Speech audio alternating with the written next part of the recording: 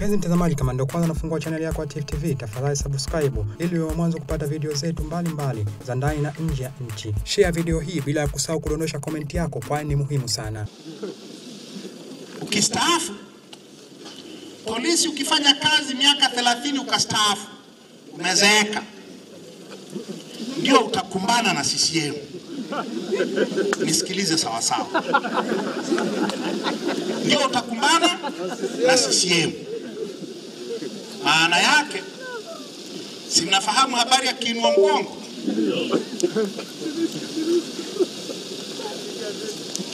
Kwa hiyo mapolisi hawa na wafanyakazi wengine wakistaafu, wameshachoka, wakienda kuomba kiinua mgongo chao wanakutana na kitu kinaitwa kikokotoo, wanaenda kukokotolewa,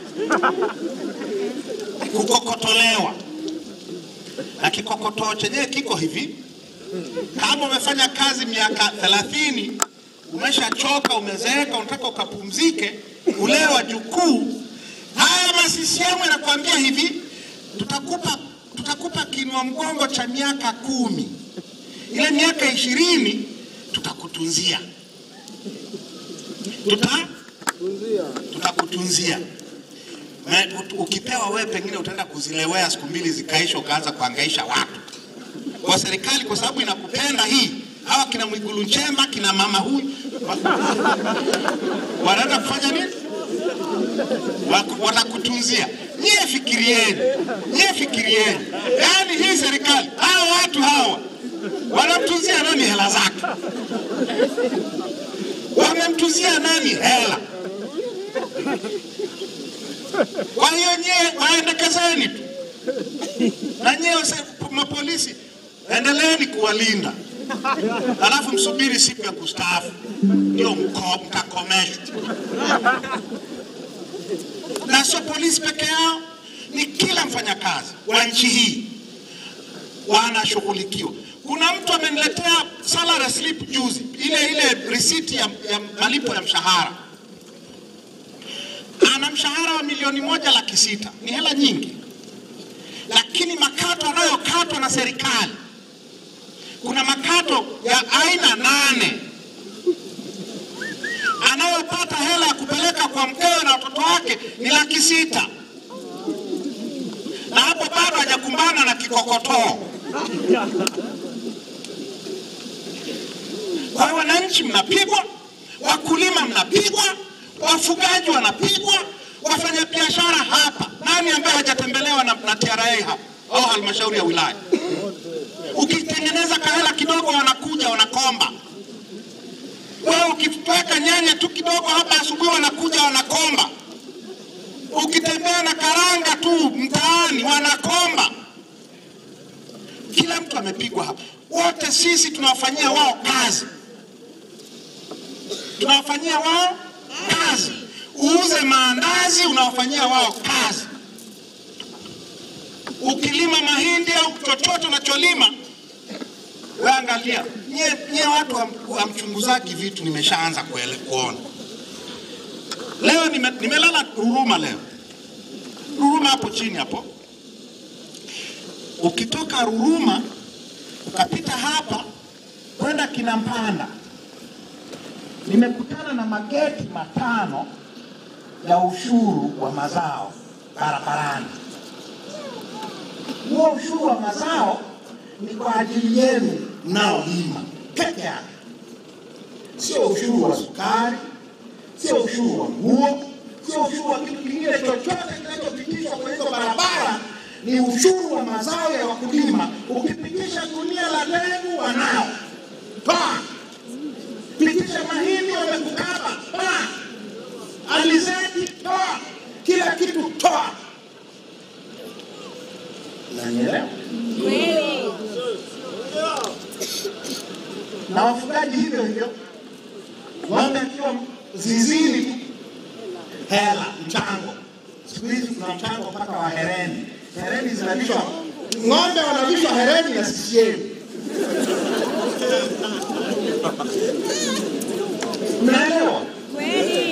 Ukitaka kumuuza.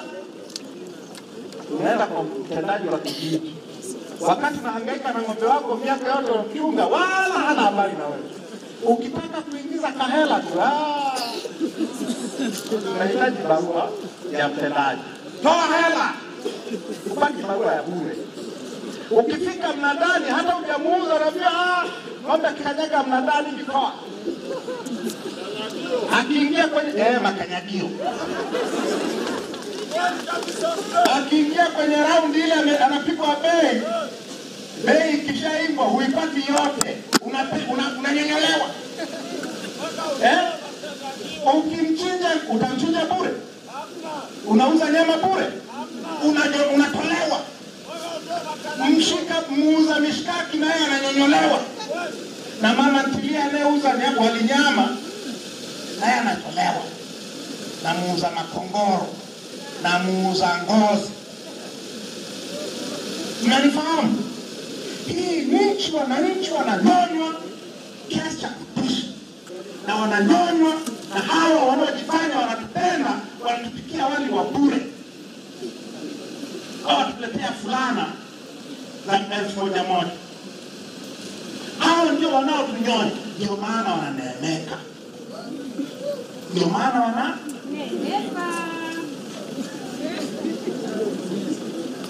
na ndio maana nyie hali zenu zinazidi kudidimia, na hapo hujakutana na sukari na bei yake, na hujakutana na bidhaa zingine, hujakutana na, na nauli za mabasi, hujakutana na bidhaa za viwandani.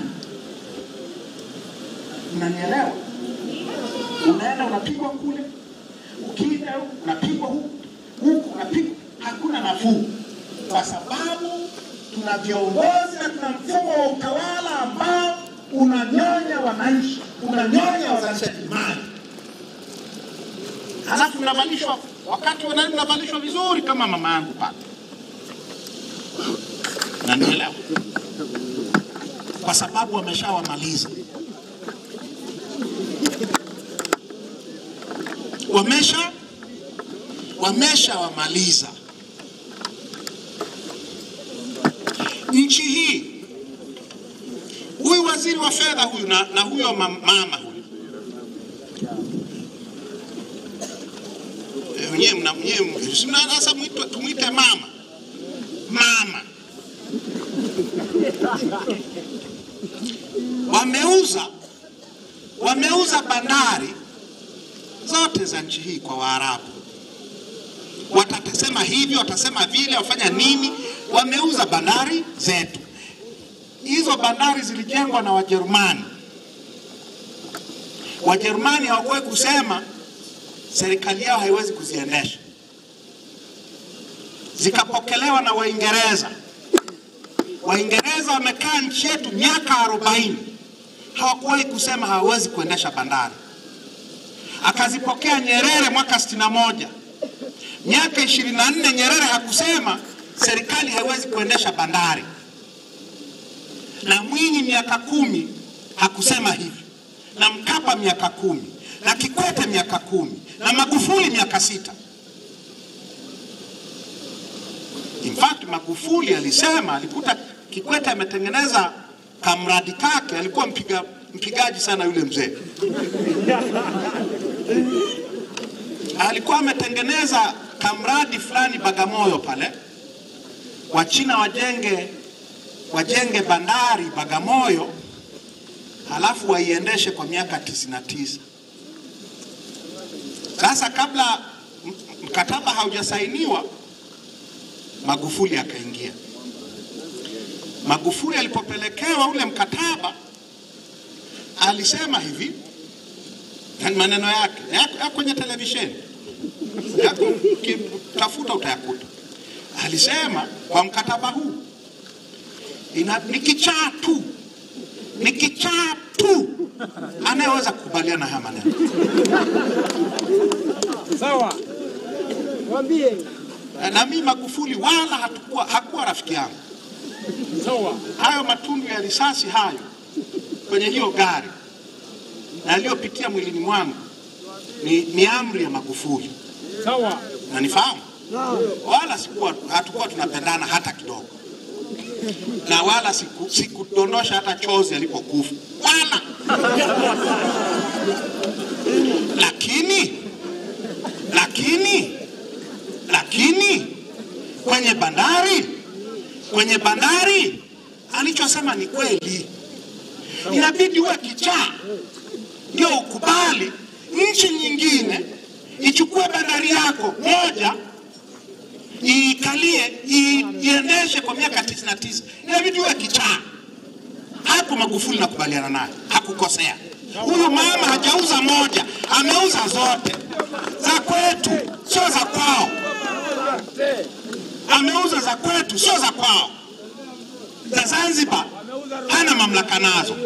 Ana mamlaka na za kwetu na hii ni habari nyingine ya muungano nyewe watanganyika kama hamfahamu huyu rais Samia hawezi kunyang'anya mtu eka moja ya ardhi Zanzibar, hana mamlaka. Ni ya kwake nchi. Mnanifahamu? Huku kwetu, huku kwetu ardhi yote ni ya kwake.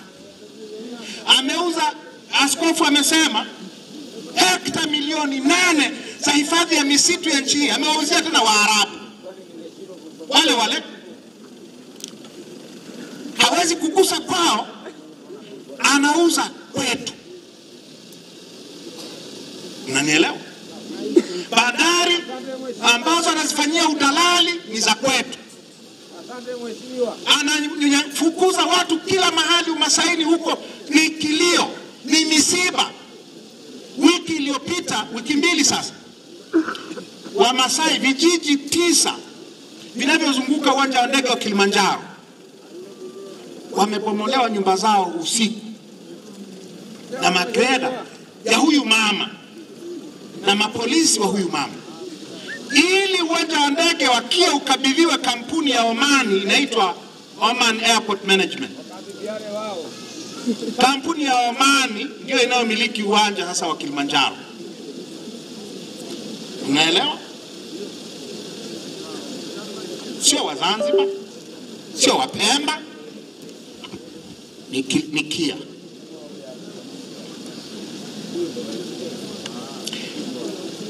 Na ndio maana kwa sababu ya udalali huu wameleta pikipiki nyingi kweli, mtaziona kama hazijafika huku bado, zimeshafika eh? Kila mkoa umepewa pikipiki mia saba, sio na serikali, sio na serikali. Kumbuka hiyo, sio na serikali. Mnanielewa? Pikipiki mia saba kila mkoa za mama. Ametoa wapi hela? Ametoa wapi hela? Ametoa wapi hela za kugawa pikipiki mia saba kila mkoa wa nchi hii? Mama, umetoa wapi pesa kama sio kama sio za DP World, kama sio za wale uliowapa misitu ya nchi hii, kama sio hao unaowapa maeneo ya Ngorongoro na Loliondo na wapi, unafukuza watu wetu, unahongwa, alafu unatuletea mapikipiki tukufanyie kampeni. Ni nini hii? nataka tusemeje? nataka tuwe wapole kiasi gani? Hiyo pesa umeitoa wapi? Sema kiongozi ni za kwetu. Tifu TV inakupatia video mbalimbali kutoka ndani na nje ya nchi. Tafadhali endelea kutufuatilia kupitia chaneli yetu ya Tifu TV, YouTube, Facebook, Twitter na Instagram, bila kusahau kudondosha komenti yako, kwani ni muhimu sana. Tifu TV tupo kijamii zaidi.